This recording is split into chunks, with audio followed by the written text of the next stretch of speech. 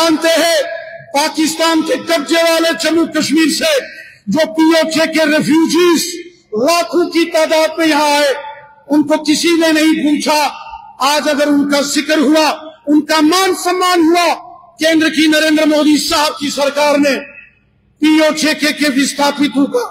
जो है उनका मान सम्मान किया, उनके विषय को आगे बढ़ाया, उनकी समस्याओं का समाधान किया। यहाँ गुजर बकरवाल कबीले के लोग, हमेशा नेशनल कॉन्फ्रेंस और कांग्रेस को वोट देते रहे माजी में। एक वोट बैंक बना के रखा था गुजर बकरवालों को और गद्दी सिप्पी को नेशनल कॉन्फ्रेंस और कांग्रेस पार्टी ने,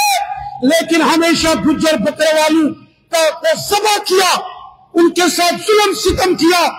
तो कांग्रेस और नेशनल कॉन्फ्रेंस ने किया आज गुज्जर, बकरवाल, गद्दी सिप्पी को अगर जम्मू कश्मीर के अंदर अधिकार मिले हैं, वो मोदी सरकार ने दिए मैं ज़िक्र करूँगा यहाँ, पहाड़ी कबीले के लोगों का। जैसे गुजर बकरवालों के साथ इस्तेसाल हुआ, जुल्म हुआ, उसी प्रकार पहाड़ी कबीले को भी जुल्म सितम का शिकार कांग्रेस और नेशनल कॉन्फ्रेंस ने बनाया। लेकिन जब यहाँ गवर्नर रूल लगा, केंद्र के अंदर मोदी जी की सरकार और हमारे देश के यशस्वी गृह मंत्री अमित शाह साहब ने निर्णय लिया और सत्तर साल बाद पहाड़ी कबीले को उनके अगर हक दिए, केंद्र की नरेंद्र मोदी साहब की सरकार ने दिए। जम्मू कश्मीर के अंदर अगर मातृशक्ति को, हमारी माताओं बहनों को अगर सम्मान किसी ने दिया, वो नरेंद्र मोदी साहब की सरकार ने दिया। नरेंद्र मोदी साहब ने जम्मू के जो हमारे महान वीर योद्धा